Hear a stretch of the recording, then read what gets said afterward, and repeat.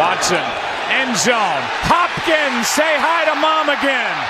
Touchdown. Hopkins.